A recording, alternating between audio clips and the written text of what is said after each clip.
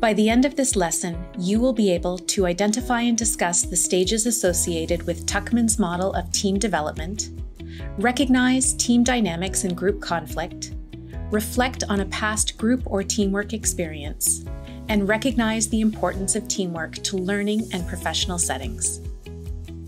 So, you've been assigned your first group project and you're about to meet your team members. You don't know anyone, but you settle in and introduce yourself. Slowly, everyone else does the same.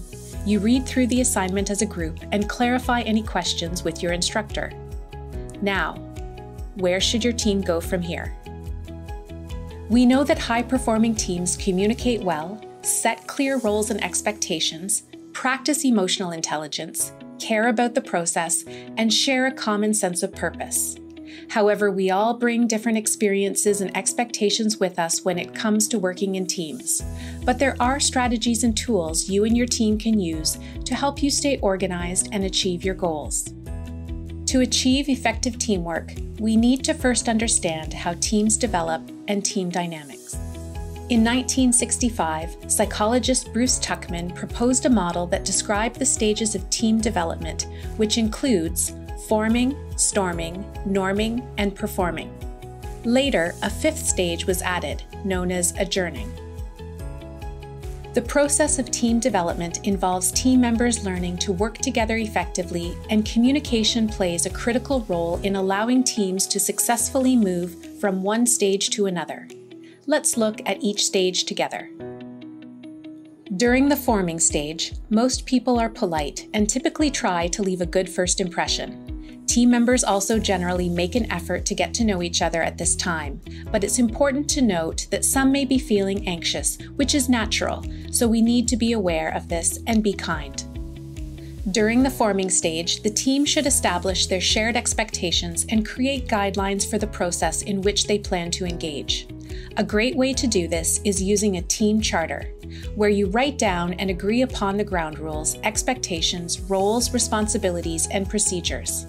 By creating this team contract, you can ensure that every member of the team is on the same page, and you can refer back to the document at a later stage to help you keep one another on track and accountable.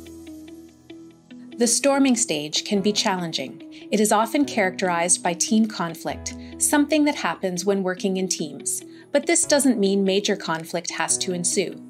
Conflict usually arises when preliminary expectations and boundaries are being tested, and as team members begin to learn about each other's strengths and weaknesses. For example, the groundwork you set in the forming stage may be challenged as individuals learn more about each other's motivations, work style, and character. If roles are left unclear, or if one person completely takes over the project, this can frustrate and cause tension among teammates. The storming stage also coincides with the brainstorming and ideating stage of the design process, which is an exciting time. Team members share and discuss their ideas and explore different options. Each contributes ideas that could potentially become the focus of the project. Learning to harness the constructive potential of conflict and compromise in this stage is important to progressing to the next. Early in the storming stage, empathizing, listening, and learning are incredibly important as diverse ideas and perspectives are shared. This will help bring out the best ideas and help you navigate team conflict. Gradually, your team will move into the norming stage once conflicts have been resolved and each team member knows their role and works on their part of the project. People start to resolve their differences and appreciate one another's strengths. Now that your team also knows one another a bit better, your team members will feel more comfortable asking for help and offering constructive feedback. Sometimes people work independently in this stage, but check in with teammates frequently to make sure workflow is efficient and effective. Team cohesion ensures that everyone is responsible to the task and to each other. Project management tools like Gantt charts can be very helpful in keeping everyone on track during this stage. Problems will arise if teammates do not fully understand their role, the team expectations, or the overall goal. Revisiting the forming or storming stage may be required. In the performing stage, teams make considerable progress towards their goals. Commitment to the team's mission is high, and the competence of team members is also high.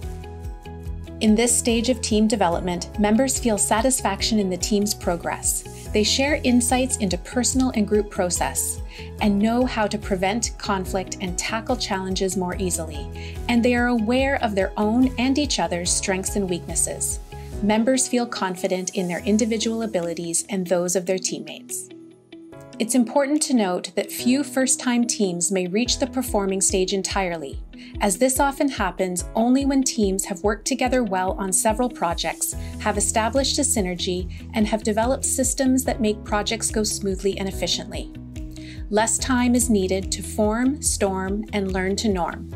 Performing teams can move quickly and work interdependently and tackle the task at hand. Lastly, many teams reach the adjourning stage naturally.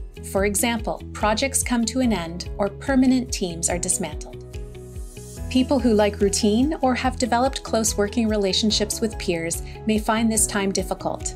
Going their separate ways can often be somewhat emotional for these individuals. This stage can involve different actions too, like debriefing about your team's performance and reflecting on your experiences to gain insights for the future, as well as celebrating achievements. It's important to note that a team might need to move back to a previous stage or stay in one stage longer, depending on circumstances and the nature of the team. For example, permanent teams may not move into the adjournment phase for a long time, if at all. Project specific teams may move through these phases relatively quickly before adjourning. If roles are left unclear or the process you've set isn't working as well as you thought, you might have to revisit your team charter and team guidelines that you set in the forming stage. In conclusion, Tuckman's model provides a helpful understanding of how teams develop and helps us understand what tools and strategies each stage can entail.